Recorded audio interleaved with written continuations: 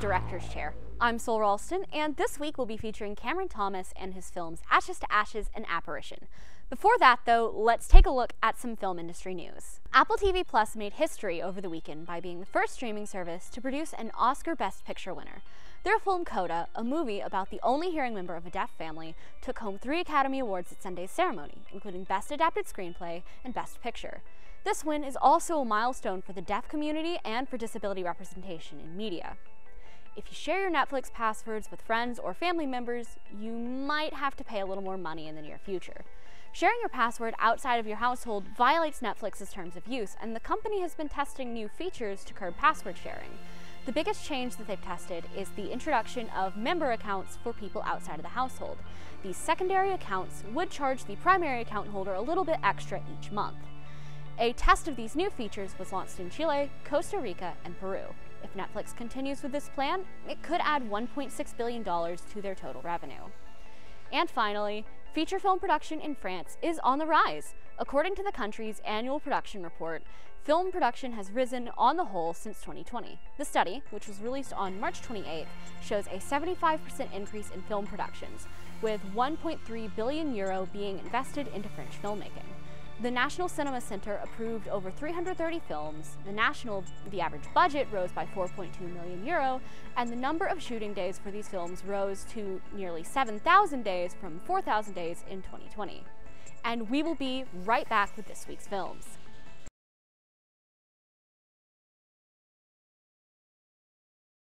Welcome back! Let's take a look at this week's films, Ashes to Ashes and Apparition.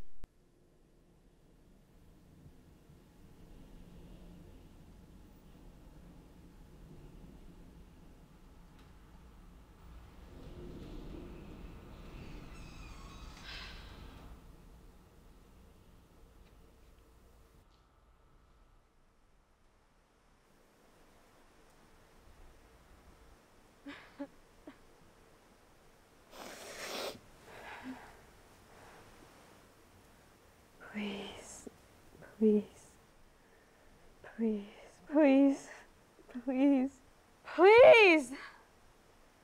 God, why? Tell me why.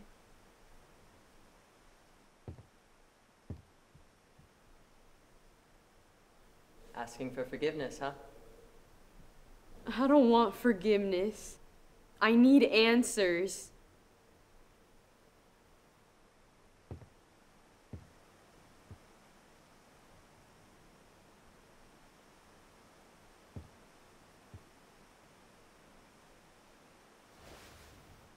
You called me down to solve your baby's murder. It's been so long. I still need answers. And now you're here. How did you find me? You want answers, don't you? Yes, of course I do.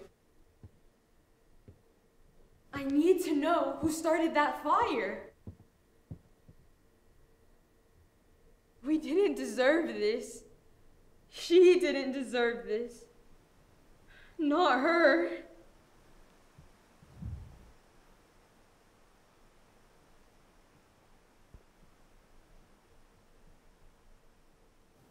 You need to see the light. It's so far. So dim. Then run.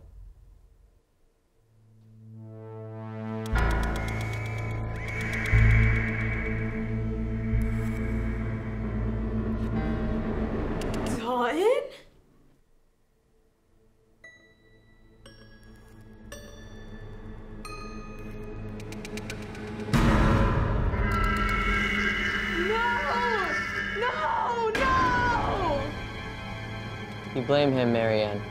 You blame him for your daughter's death. That's your answer. That's too convenient.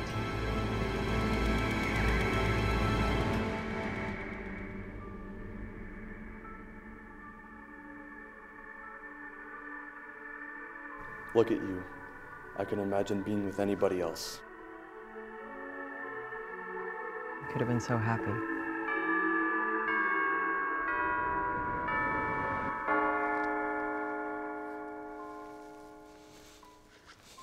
What have you done?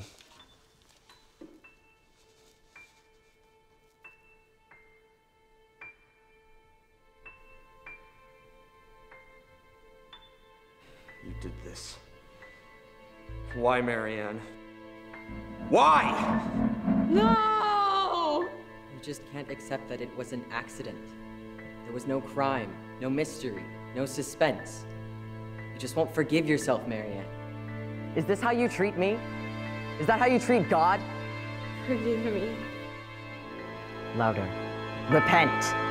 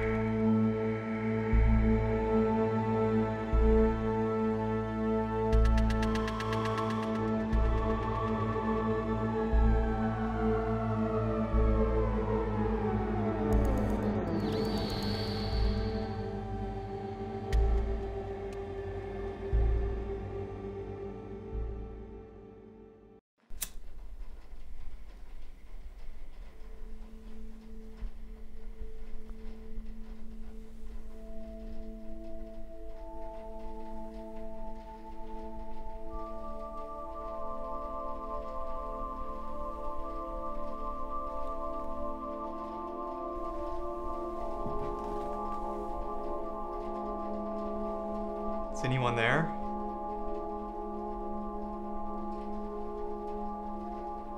Are you there?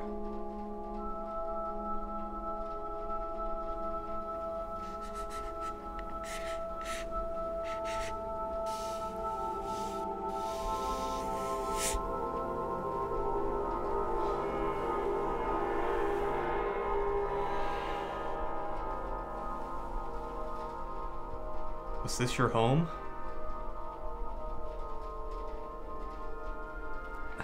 Please answer. I'll ask again. Was this your home?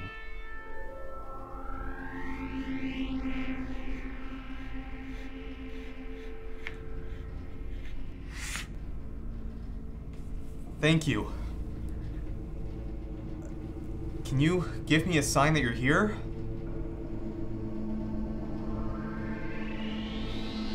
Can you give me a sign?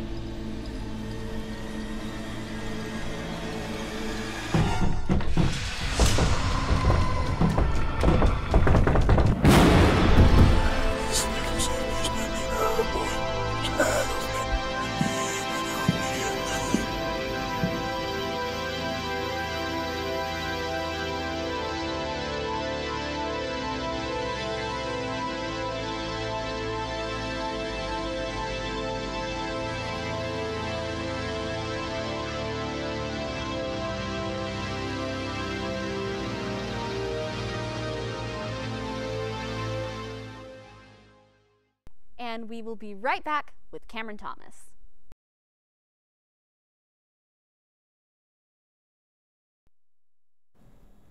Welcome back to the Director's Chair. I'm here with Cameron Thomas, the director of Ashes to Ashes and Apparition. Welcome to the show. Thank you for having me. All right, so to get started with Ashes to Ashes, what were some of the major inspirations behind this film? I think when I first read the script, the first thing I thought of was Rosemary's Baby. Uh, a lot of like uh, self-discovery through absolution, kind of abstract visions. Um, I visually I drew a lot from that. Yeah, and I know that like the concept of absolution and a lot of religious themes really played into it, which is really interesting. And one part that really stuck out to me was at the line, "Is that is this how you treat me? Is that how you treat God?" You see the angel character with this almost like broken halo around his hat. And I just thought that was so cool. And I'm curious if that was like a shot that you planned from the start, or if that was just sort of something that came about on set. Yeah, it was absolutely something that came about on set. Which at that point we were kind of having to improvise a lot of shots because we were trying to make up on time, and that was one of the ones that we just happened to put the light behind there, and it just happened to look that way. And we didn't really plan the, the halo effect at all. It wasn't until after that people said, "Hey, it looks like a halo." It was just we thought it looked good. You know what? It does look good. It looks so good.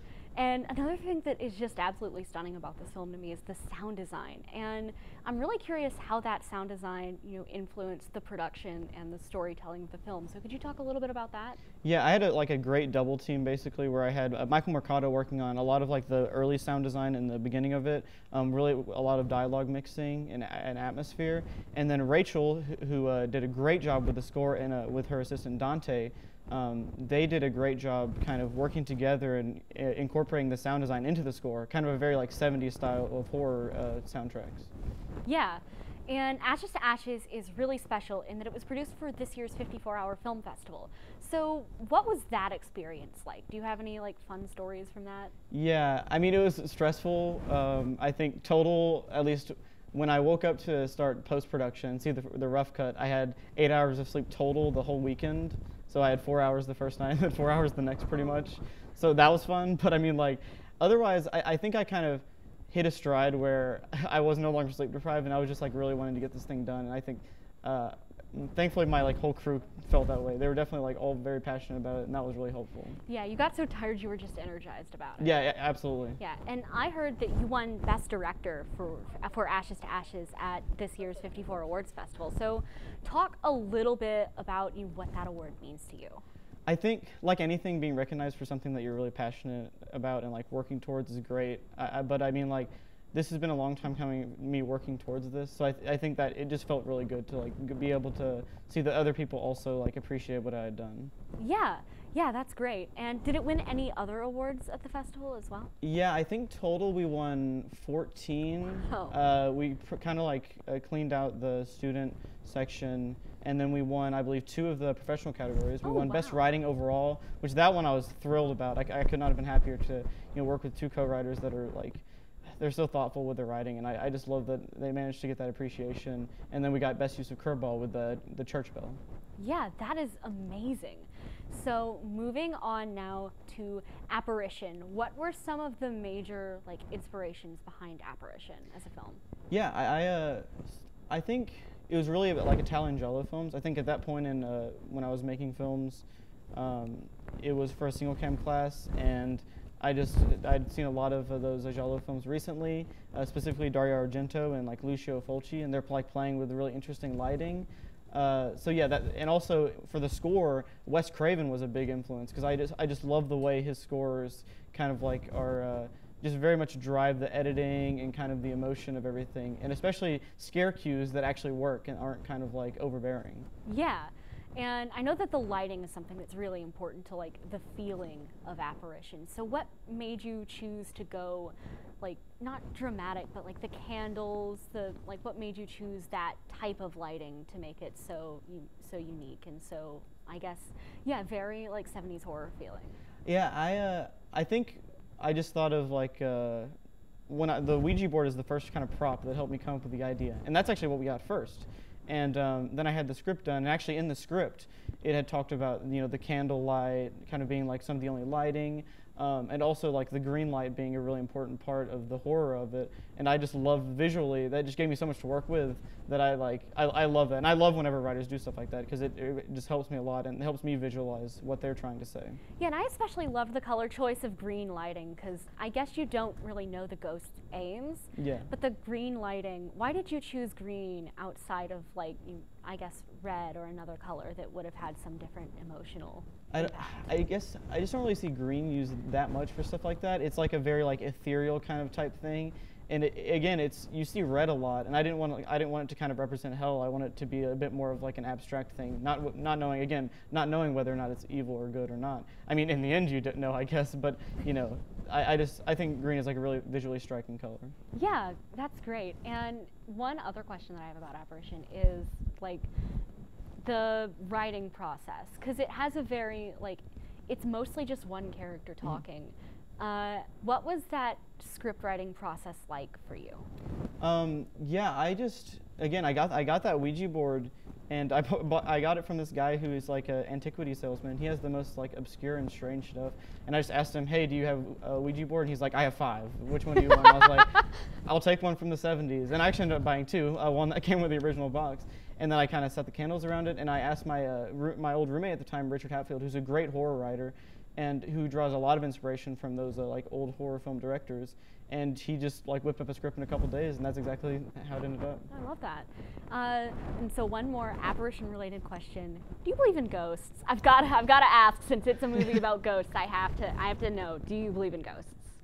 I think I'm gonna say no, but I do. I, I, like the idea of ghosts. I think that like the human mind always tries to like create, uh, you know, explanations to the unknown, and so I, I, you know, I've definitely been in like rooms where something has felt off and I haven't known what it was, but I'm gonna, I'm gonna say no, they don't believe in ghosts, but I, I hope that they are real because there's something kind of, at least you know, if it's not them being like tied down to the earth, if it's, if it's not like that, and there's kind of our relatives watching over over us, I think there's something chilling, but also very like heartwarming about that. Yeah, yeah, I do like that sort of hopeful skepticism yeah. almost. Yeah.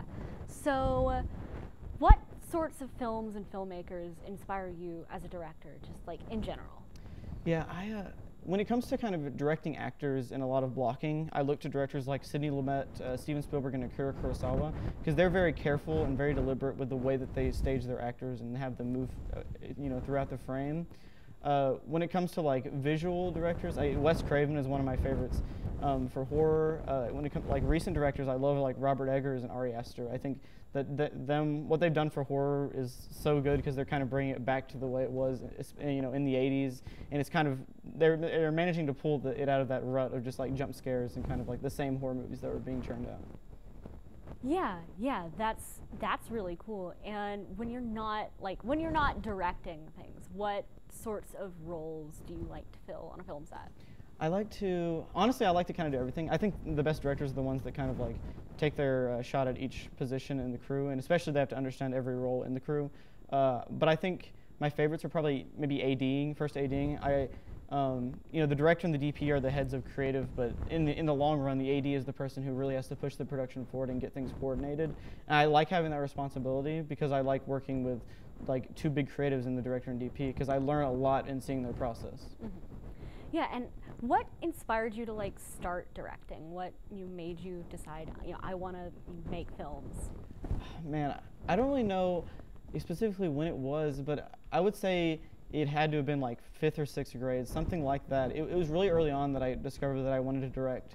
Um, in fact, I specifically remember in sixth grade, we had like a little sheet that you had to fill out where it was like, oh, what job do you want to have when you get older? And I put film director. And my teacher was like, no, you have to put something realistic. and I was like, that's fair, but I'm still going to put it because oh, that's yeah. what I want to do.